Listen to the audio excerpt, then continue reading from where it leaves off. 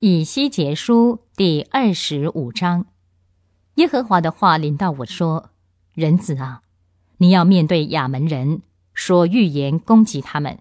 你要对亚门人说：你们要听主耶和华的话。主耶和华这样说：我的圣所被亵渎，以色列地荒凉，犹大家被掳去的时候，你说：哈哈！所以我要把你交给东方人做产业。”他们必在你那里安营，在你那里设立居所。他们必吃你的果子，喝你的奶。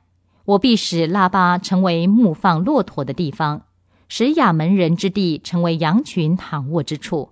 你们就知道我是耶和华，主耶和华这样说：因为你手舞足蹈，心存轻蔑，因以色列地的遭遇而欢喜，所以我必伸手攻击你。把你交给列国做掠物，我必从万族中剪除你，使你从列邦中灭亡。我必消灭你，你就知道我是耶和华。主耶和华这样说：因为摩押和希尔说：“看哪，有大家与列国毫无分别，所以我必除去摩押一面的防守，从边界的城市开始，就是他们看为那地之荣美的伯耶西莫。”巴利缅和基列亭，我必把摩押连同亚门人一起交给东方人做产业，使亚门不再在列国中被纪念。我要向摩押施行审判，他们就知道我是耶和华。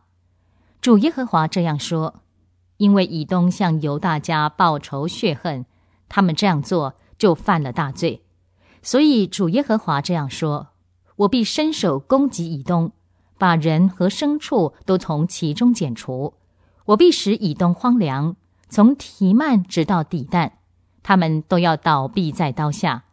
我必借着我子民以色列的手报复以东，以色列人必照着我的怒气，按着我的烈怒对待以东，以东人就知道这是我的报复，这是主耶和华的宣告。主耶和华这样说。因为非利士人向犹大人报仇血恨，心存轻蔑，报仇血恨，他们永远怀恨，要毁灭犹大。